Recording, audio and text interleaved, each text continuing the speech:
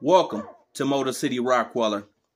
Just want to do a little short video to let you know what the puppies are doing. They'll be two weeks old this weekend. This is where it starts at, y'all. Right here in our home. They was born right here. She went in labor in this box. So these babies will be going to good homes. They will be another addition to your family. They will be service dogs. They will be therapy dogs. Our last litter, we have a, a dog that's on the road. It's a truck driver.